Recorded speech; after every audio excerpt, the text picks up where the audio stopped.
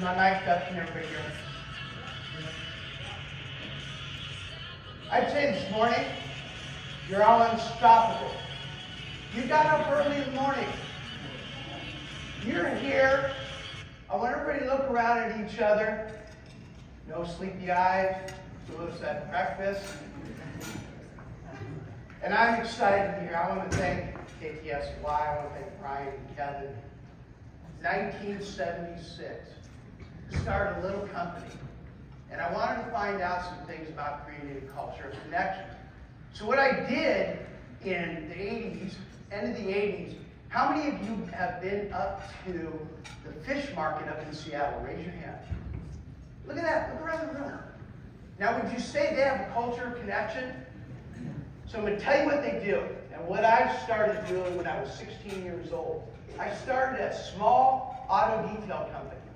What I realized was I was going to take my employees and I was going to do something. And I had sex I was going to do it. But in the 80s, I went up there and said, how do they have so much culture here at the fish market? And I found out they meet every single morning. And John Yokoyama was the owner of the fish market. And he got his guys together, and what he did was he got them, they stretched. You know how when they toss the fish, they yell, oh, do over there, something over there, right? So we're going to do something different. So I want everybody to stand up right now. Everybody stand up. Come on, let's go. Let's stand up. To get the blood circulating a little bit. Here's what I'm going to do. What I did find out is this. When you bring excitement into your company, you start to build culture. So three times we're going to yell, I'm excited. As loud as we can. I want these windows to rock. So on three, we're going to yell three times, I'm excited. One, two, three. I'm excited! I'm excited! I'm excited! All right, give yourself a round of applause. You know what's real interesting is with those guys that are yelling, they create a culture. They meet every single morning and they think about themselves. They think about how they can bring support to each other. And basically, we know now in today's society, it is absolutely true that we're so better connected along lines.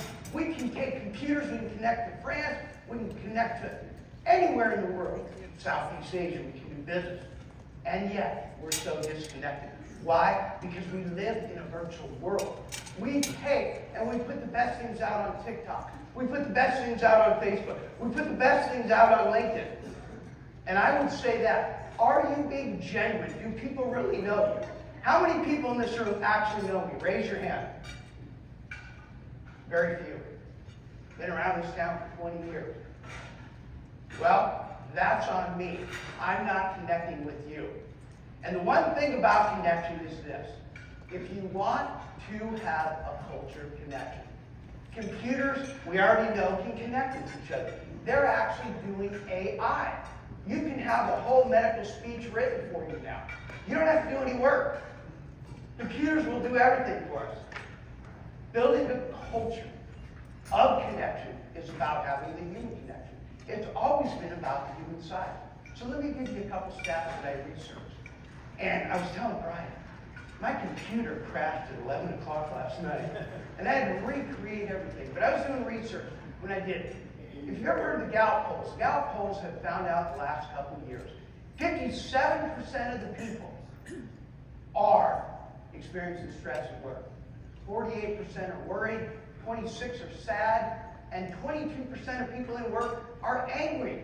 Why? Because we're not connecting as humans. A neuroscientist from UCLA did a study on the brain. What he found out was human connection is a superpower. It allows people to be smarter. It allows people to be happier. It allows people to be more productive. And what it does is it helps you cope with stress.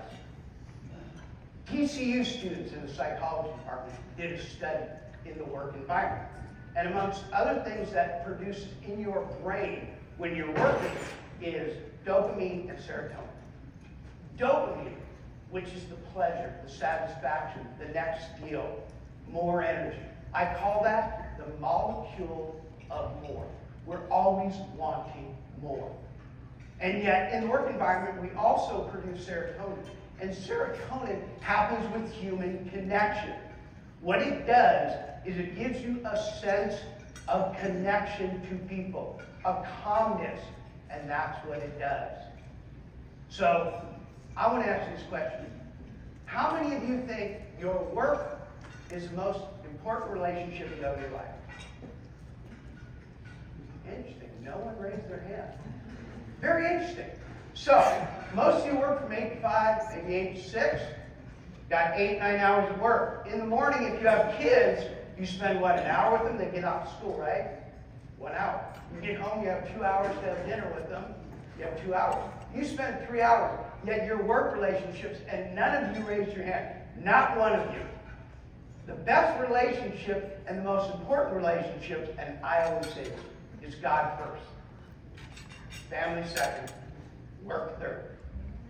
And if you don't have that in that order, you might want to take a look at some things. Now, in the old ways, what we did was without computers, back in 1976 when I had a company, I'm going to tell you a little bit about that in a second. But when I had a company, we did business with what? Know, like, and trust, right? And that's how we did business before computers came along. We talked to people. We got to know them. We liked them or we didn't like them. We trusted them or we didn't trust them. In the new way, it's taking the technology that we have, leveraging the technology to do what it does best. It's bringing global teams together. It's creating inspiring people, that is how business is done. So how do we connect in this digital world? Well, let me tell you this. I say it's this. I say we have to connect. One thing that I had to do was, in order in 1976, I ran a little small mobile detail company. But before I started, I wanted to find out how to be successful. So I started seeking out leaders. But more importantly, I had to find out my connection with God. When I got connected with God, my core values came up. If you have not worked on your core values, I highly, highly recommend it. And the reason why I did that was I wanted to find out who I was, who I could bring to a business, how I can bring it to connect people. By getting my core values, I was allowed to come up with a mission statement. From there, the beliefs. Beliefs is what do I believe about business? I was 16 years old. My natural beliefs came up. I didn't have enough capital. I didn't have enough education. I wanted to know my limiting beliefs. I wanted to know what my limiting beliefs were of my coworkers, as well as limiting beliefs of my clients. Maybe I had resources. Maybe they believed they couldn't do something. From there, basically, your attitude is how you feel. Now, if you believe in your core values, if you get connected with your core values in God, I believe how you feel is much better. You will walk into restaurants. I do this with all my clients. I coach, I do workshops. I see you're going to get up front of a restaurant, you're going to yell, I'm excited. Um, excuse me? I'm going to make a fool of myself. You do that for 30 days, I guarantee you'll be connected for, with tons of people because they're going to go, Shane, I want to be near you. You guys are excited. Now, here's the thing that I say. In anything and the ways to get to a point of a connection. to have a culture of connection. I highly recommend you learn your core values.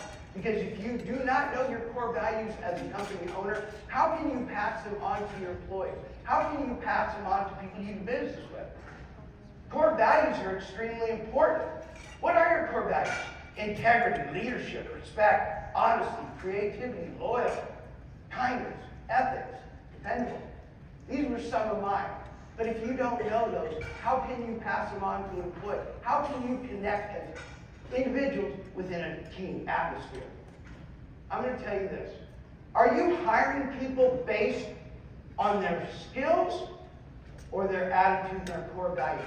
Because it's already been proven we can teach anybody skills. This morning when I came in, I was with Brady. Brady, we had to go through about 10, 15 minutes to get things kind of hooked up correctly. Okay? And I would say this. He's got a great attitude. He's got great core values. You can teach anybody skills. The next thing I would say is this. Learn your limiting beliefs from your peers and your coworkers. Why would you want to know this? I say this. when you know the limiting beliefs, I'll never move up in the company, I'll never make a raise, the upper management always has things. When you know people's limiting beliefs, you'll have better conversations. You get to a better place. The other thing that I would say is this. I'd say there's a solution to every problem. Brian was right. When I started my business, I was real simple. I wanted to wash cars, I wanted to detail cars. When I was 17, I broke my neck and I was paralyzed from the neck down. I've had that happen four times. Four times. So I'm convinced there's a solution to every problem. But within a company, if you are constantly the person that always has the answer and you're not accepting your coworkers' solution to a problem, your connection, the culture of connection, does not happen. The next one is this view vulnerability is leadership. And the reason why I say that is this when you are intentionally practicing vulnerability, you open up communications that you never think that you've ever had. People get the authenticity, they know you're genuinely doing that.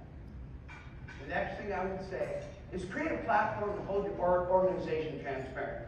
When I was 16, 17, and 18, I was very, very clear with all my employees. You want to see my books? Now, that's up to you. My employees were able to see my books, exactly what was happening, exactly how much we were making, exactly how we were treating our clients. And you're thinking, well, that's real interesting. I don't think I would open my books to people. Well, be more transparent what you're doing in your company. Your employees will feel more connected. The next thing is, in-person meeting and platform, you want to build unity, trust, and accountability. Now, on that, I would say there are different platforms. There's Slack, there's Meta. There, you have a company where you might have a platform. Build a platform where your employees can see this. I will guarantee you they will feel more connected to you, to the company, and to the purpose of the company. When you do that, schedule walking calls. People are like, what's a walking call? Anybody know what a walking call is? I got one hand back. Everybody smile a little bit. I'm wondering if you're still awake. Okay. A walking call. We sit in the office all day long, right? Now, I recommend a walking call to build culture, and here's why. When you walk, you're going to get exercise. You're going to get fresh air. You're not in the office. You're not in the same old grind. Get out and walk. If you have a 20 minute meeting that you're going to schedule in the office, I highly recommend you do a walking call. It's great for company health as well. It's great for connection. Next thing I tell you is a 20 minute speed dating. Well, Brian already mentioned that we're going to be doing speed dating up here. We're going to be networking. So, the one thing to build culture within your company is do a 20 minute speed date. What I want to do is John, Doug, Sally, Jessica, Dana. I want to schedule 20 minutes that we walk, we basically sit somewhere and we have 20 minutes and we talk nothing about business. Cecilia, tell me about your daughter. Tell me that she's a parent now. She's out of school now. I want to know these things. It's her why. When you discover the why of someone, you build better connection. The other way is being uncomfortable. Be comfortable being uncomfortable. And the reason why I say this is when you have a willingness to be uncomfortable with your employees, to talk about them, to find out about, wow, my sister just got raped. My brother's getting divorced. The things that you open up with people when you get genuine, when people can share with you, they will follow you anywhere. These are ways to build a culture of connection. Adopting a style that is empathetic. When you're empathetic, it shows that you're human. When you're able to relate to a person who just lost a brother, a wife that just lost a job, and you're empathetic, it shows that you're human. It shows that you can connect on a different level. If all we're connecting on work and we're not connecting as human beings, we're never going to have a culture of connection. I go back to this one for a reason. Once you set your core values, most people will set them a week, two weeks, and what will happen is this, is they'll basically forget their core values. They won't live it. So in that, get a platform where you can keep informed on the clients that you're working with. If I'm one of your employees and I want more connection within the company, tell me how we're doing business. If you're keeping your secrets about your clients, people don't want to work for you. They won't get close to you. The other one is this. I love this touch point. New employee mentorship. I was down in Bryan, Texas, talking to a fire department. What we had set up was a mentorship of all new hires that came on the fire department. And it was a great thing to do because they went through a full year, and it was not to show them all the bad. It was to show them the ropes along the way.